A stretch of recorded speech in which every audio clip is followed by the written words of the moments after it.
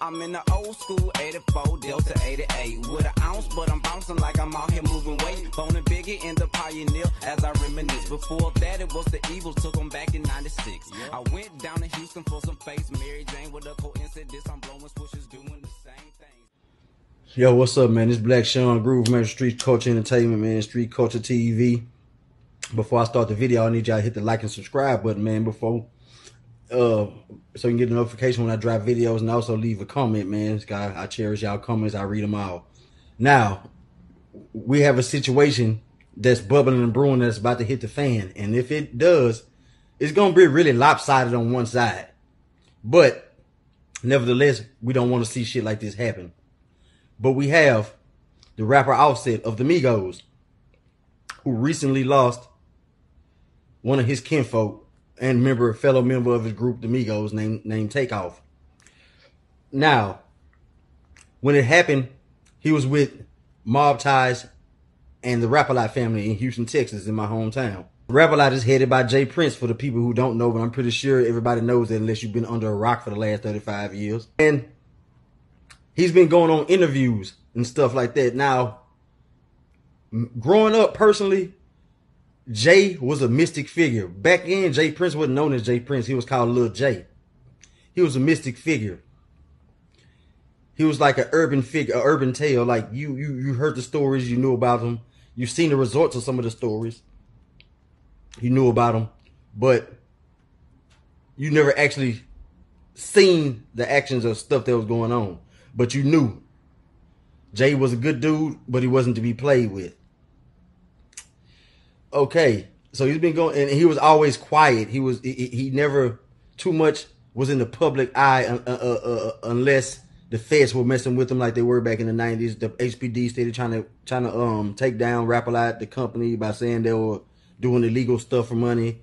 You know, stuff like that. You know, basically stuff they try to do to a black man when he has a uh, when he has a powerful enterprise and they can't you know get a piece of it. And he was real quiet. He never really too much spoke on nothing except for like on intros of Geto Boys albums that would be the only thing that you would probably hear his voice on. But over the last, I say, four to five years, J. Prince has been interviewing a lot, and he's been speaking on some stuff. And a few things, people were mad at him for speaking the first time he had an interview on Drink Champs when he spoke on DJ Screw and the Screwed Up Click and, you know, some extortion stuff like that. He ruffled some feathers, but he apologized for it because he, you know, he blamed the alcohol. But this is what he had to tell Takeoff. I'm gonna let y'all hear this right quick. What he had to tell Takeoff. I'm, I mean, I'm sorry. I'm sorry. Offset. Internet games, I'm offset, dude. I ain't gonna leave him out. Don't never put me in no position where, you know, I have to defend myself. You know what I mean? That wouldn't be healthy for you. Okay.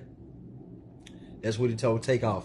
Because from what he's saying, someone's been letting him know that Offset has been talking shit about him or saying things about him or things are being said about him. I'm not sure whether they are or not, but that's obviously what he's saying.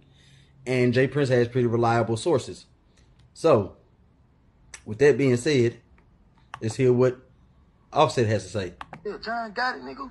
Ain't nobody going for none of that, bro. I ain't studying none of that shit y'all nigga talking about either.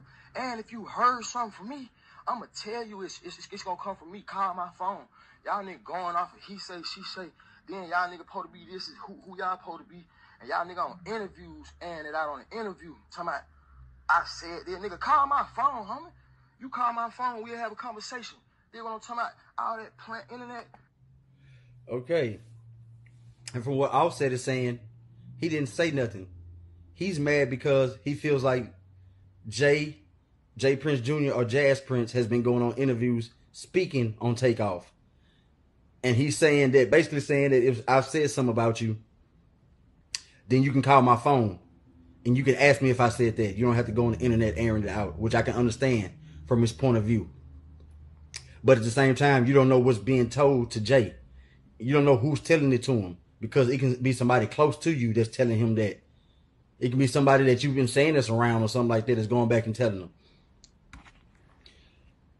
I would like to think everybody would like would be a man and call somebody's phone if they got a problem with them. But the, but but but the, the sad reality is N- niggas ain't about that like they really is. Niggas will say that shit all day. Hey, a nigga got a problem with me, bro, or I got a problem with a nigga. I'm gonna come in and nigga let him know, or I'm gonna call him and let him know. When the, when the truth of the matter is, you, a lot of you niggas ain't gonna do that because y'all scary, bro. That, that that's just real facts. I'm not saying you is. I'm not saying Prince is. I'm saying a lot of niggas ain't gonna do that, bro. So you might need to check your circle and see what's going on around your circle. Now, I I still grieve. I mean, I still uh not not grieve or whatever because I didn't I didn't know I didn't know takeoff, but I still have big condolences for your family. I still feel for your family, and I still hope y'all get through it and everything's okay. But I'm telling you, sometimes you gotta pick and choose your battles, man. You gotta pick and choose your battles wisely if you're gonna say shit like that. Um, I said you gotta pick and choose wisely, and that's not no dick riding. That's not no uh taking up for people that's from my city or nothing. That's just that's just act, that's from shit I know and and have seen. know what I'm saying? Like not saying that y'all are not about it or whatever, but there's some shit that you don't need to do. For Mr. Prince, I feel like Jay, me personally, I feel like Jay has start has started talk, talking on the social media too much and having too many interviews. He was cool when he was that mystic figure behind the scenes that people rarely seen or rarely heard.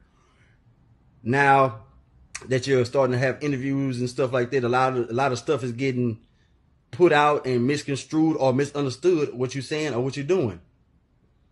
So I feel like you need to back up a little bit from the camera and from social media.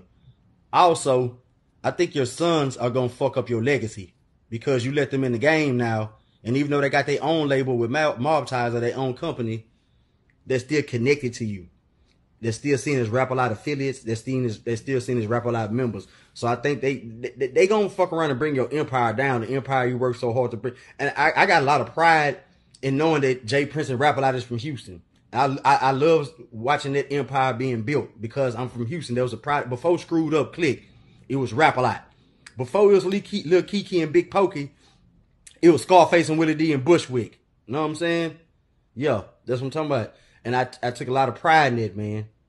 You know what I'm saying? So, with that being said, I just want to say I hope this don't come to a head where black men have to kill each other.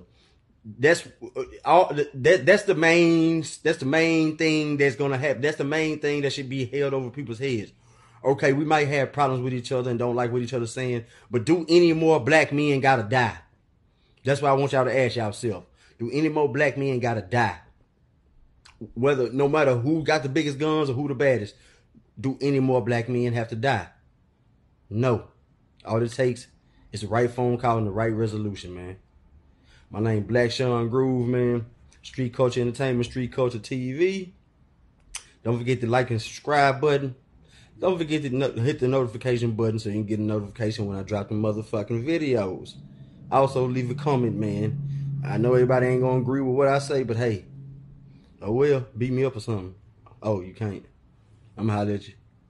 I'm in the old school 84 Delta 88 with an ounce, but I'm bouncing like. Hold on, hold on. Wait a minute. Wait a minute. Offset. Don't you let a whole woman run your life? Don't you be wearing matching outfits and shit? Wasn't you on the internet begging for a whole woman? Didn't you let this woman lick you out on camera and shit at the Grammys? And by the look of your face, you didn't want to do it, but since she was doing it and you gotta make her happy, you went ahead and let and, and, and participated?